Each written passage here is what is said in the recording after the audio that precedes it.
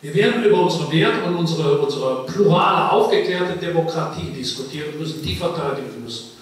Was Bündnisse erforderlich macht, ähm, die, an die wir vielleicht heute noch gar nicht denken, und die eine Sprache erforderlich macht, die ein Kunststück vollbringen muss.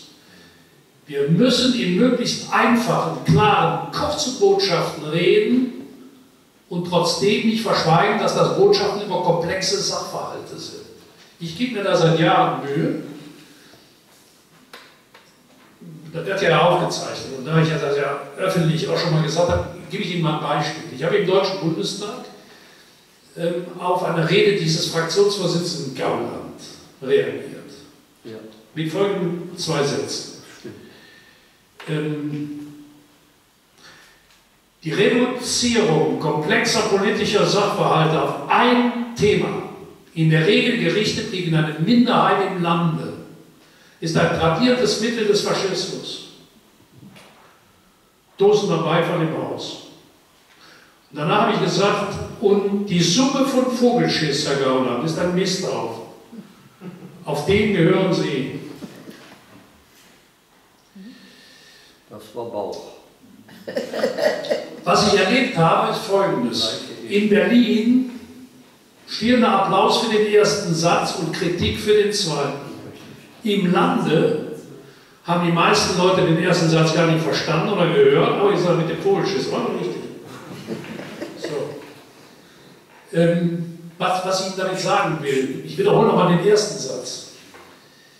Die Reduzierung komplexer politischer Sachverhalte auf ein Thema, in der Regel gerichtet gegen eine Minderheit im Land, ist ein tradiertes Mittel des Faschismus. Wenn ich da die bloß bei meinem Fußballclub erzählte, die sagte, aber Schulz, was ist denn jetzt? Ich? So.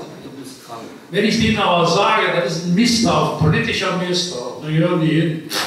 Sagen die hätten mal einer der Klartext nicht. Wir müssen verdammt nochmal lernen, dass die breite Masse des Volkes nach einem acht bis zehn Stunden Arbeitstag am Abend müde vor der Glotze sitzt und ich auch noch Zeit habe, komplexe Sachverhalte zu analysieren. Nichtsdestotrotz dürfen wir die nicht aufgeben, sondern müssen sie erreichen mit einer Anmutung, die die Demokratie verteidigt, aber die Sprache dieser Leute spricht.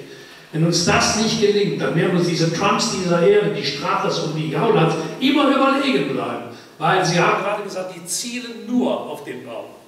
Wir dürfen, uns nicht darauf, wir dürfen uns nicht darauf beschränken, immer nur auf den Kopf zu zielen, immer nur auf immer nur auf die, auf die Ratio zu ziehen. Zur Politik gehört auch zur, zur liberalen Politik gehört manchmal auch der Mut zur Emotion. Mal zu sagen, ich habe jetzt die Schnauze voll von eurem Gemäsch hier.